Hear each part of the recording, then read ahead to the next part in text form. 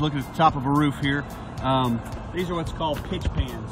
It's where the wiring comes down from an AC unit or anything else that's on the roof goes through the roof and penetrates it. These are these are ways you can do it. It's got the little metal cap on it to keep uh, rain and, and, sun from beating down on it. Um, this, however, is not how you do it. Uh, this was probably done by the AC repair guy. Shout out to all you AC guys, but hey, this is not correct. I didn't know whether it was a fungus or a repair, uh, but anyway, it's an in, improper pitch pan.